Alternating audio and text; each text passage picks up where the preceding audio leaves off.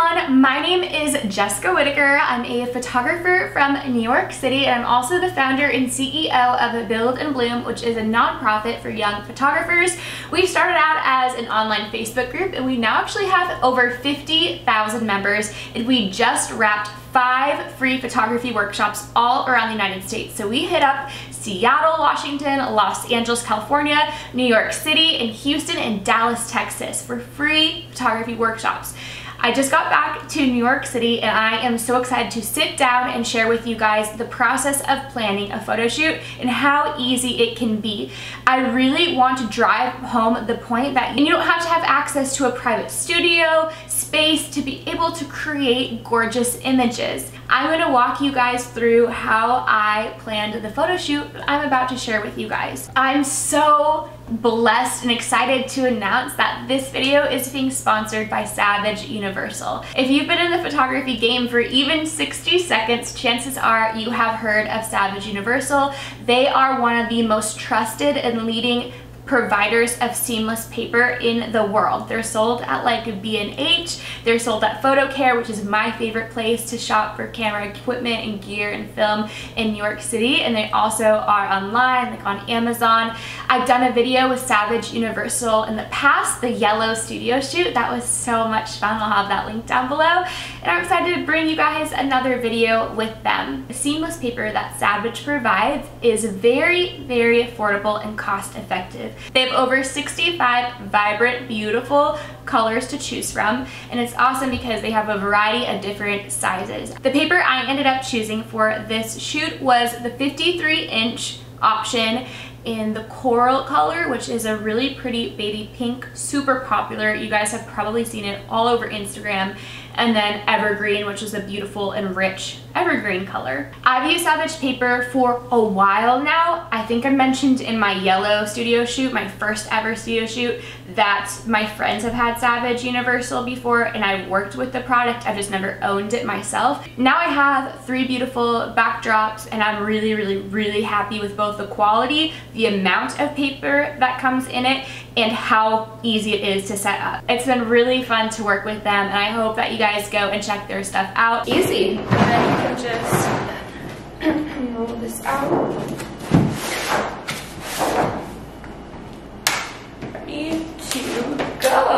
And it's a huge blessing to be able to be partnered with them to bring you guys even more free content. This is how I set up 99% of my trade for print collaboration shoots not necessarily my client stuff, a lot more goes into that, but it doesn't have to take you five weeks to plan out something simple.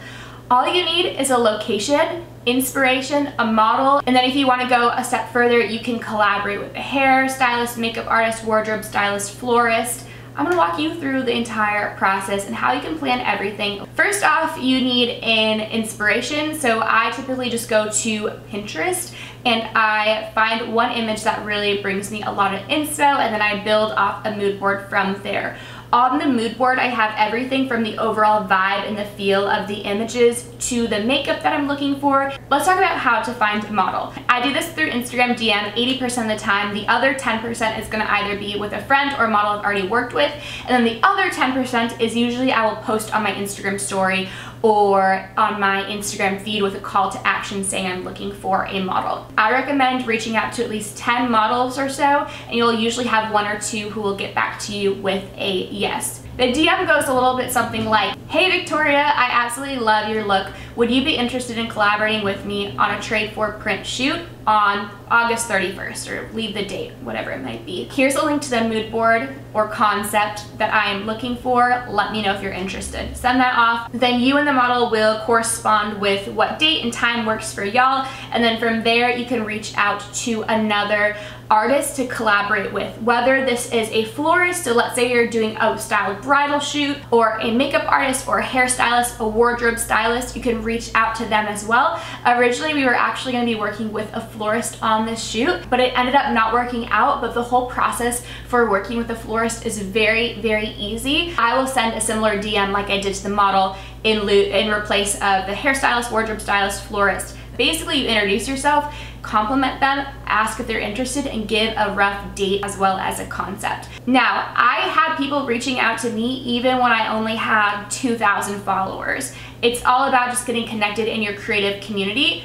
Build and Bloom is a great resource for that. How you can find the florist, makeup artist, model is all through hashtags if you don't know where to start already. So just search up Houston model or New Jersey florist look at who is using those hashtags and reach out to them. What's also awesome is a lot of time those profiles that are using those hashtags and then next to the follow button there's a little icon you can click and it shows suggested people and usually those people are in their area and industry. Photo shoots do not have to be a big production you guys. We literally set up the seamless paper in my tiny New York City kitchen with some studio lights and made it work. So then we have this ring light that I plug into here. this is the only outlet in the whole kitchen. One softbox.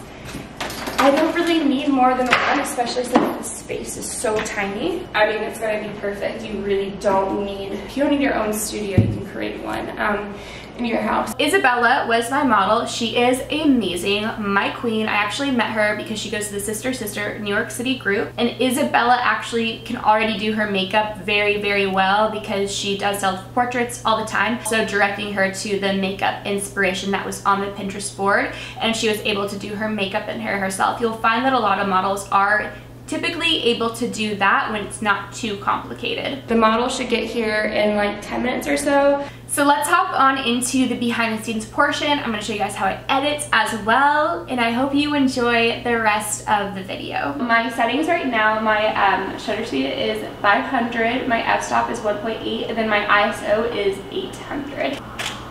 Love that. Yeah, perfect. Um, I'm going to, going to be taking this iridescent washi tape in front of the lens. I take this off and you can see that it's way more it's on a solid, so it won't be as harsh. It will look a lot more transparent. I could probably even fold it up, do different things, um, but you can get washi tape. I got this for $5 at ABC Carpet, which is a boutique in New York, but you can probably find similar online, or if you're in the city, yeah, this is so cool. And I like how it's multicolored too, so it can bounce between like, okay, let's see. I'm gonna use the I'm to put it on the very bottom of my fingers so that I can kind of control it a little bit more on the bottom of the lens. Um, and it bounces between like the blue, more traditional iridescent. Um, also, you can kind of get just a clear, wait, this is so sick. Amazing.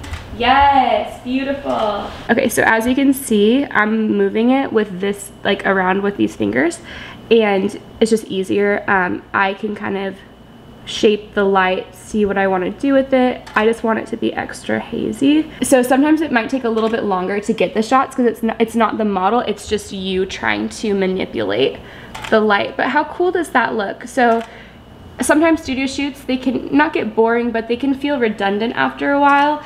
Um, and so I think just doing these little effects can look so sick. I even have like metallic washi tape. Um, it's not as transparent, so it's gonna look a little bit different. Um, you could probably even do like tissue paper because tissue paper is pretty transparent.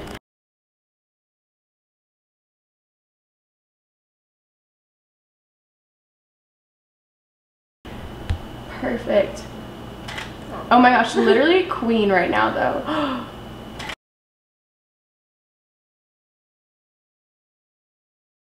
Okay, so for the photos that we just shot, um, we used Sage's pants to shoot through them because they're kind of a little bit see-through. And for the first few shots, um, it worked out, but it wasn't enough light for me. So what we did was took an iPhone flashlight where I was holding the camera and this wrapped once around the lens, held pretty tight so as much light could come through. And we used an iPhone to shine through this to make it even more transparent and give it a cool effect. You are doing it so good.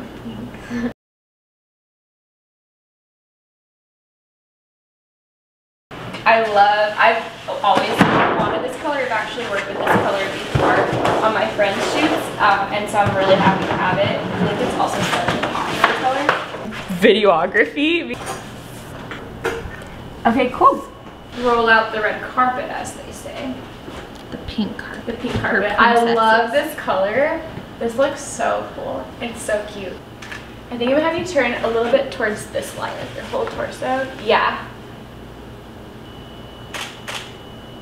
So I'm gonna take this Glossier pouch and see what we can do with this. Turn your torso a little bit more towards me. Yeah, yeah, yeah.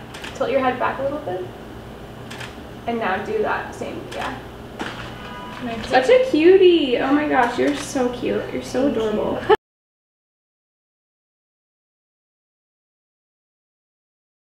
Okay guys, that is the video. I hope that this video inspired you guys to really go out there and get creative, shoot inside or outside, work with what you have and who you have available to you as models.